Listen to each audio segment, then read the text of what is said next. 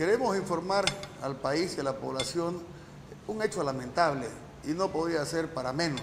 nada menos que este escándalo de una persona que cae con más de 450 kilos de cocaína en territorio brasileño, nada menos es hijo de una candidata al movimiento al socialismo, la señora Carmen Limalobo, candidata por las siglas del MAS, que eh, postuló a la subgobernación de la provincia Mamoré en el departamento del Beni. Esta señora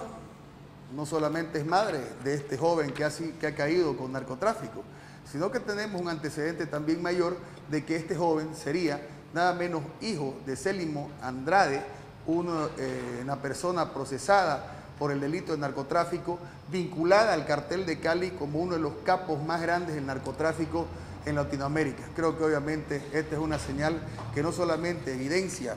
la relación política con autoridades del movimiento al socialismo a través de sus familiares, sino que también obviamente deja en evidencia una situación muy crítica respecto al accionar de nuestra justicia en nuestro país. El hecho de que a esta persona el año 2012 se lo encuentra en posesión de cocaína, se lo encuentra en posesión de AK-47 y armamento altamente pesado,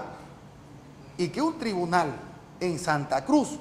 pueda conferir y otorgar la absolución de los cargos, no tiene nombre, porque es un despropósito lo que han hecho, lo que ha pasado con este antecedente, nada menos de un hijo de una candidata al movimiento al socialismo, que caen en Brasil con droga y que esta justicia, esta justicia podrida y malsana, hoy le pueda conferir la libertad para que pueda volver a reincidir en este delito. Vamos a eh, hacer una investigación porque este partido político ya más parece un cartel de narcotráfico. Este partido político realmente ya da asco. Hemos visto antecedentes que realmente ya nos indignan como bolivianos caen alcaldes, caen concejales, caen exsecretarios de gobernaciones, caen hermanos de altas autoridades del MAS, y esto ya no puede seguir así. Creemos que, por supuesto, se tienen que tomar acciones contundentes para poder acabar el narcotráfico en Santa Cruz.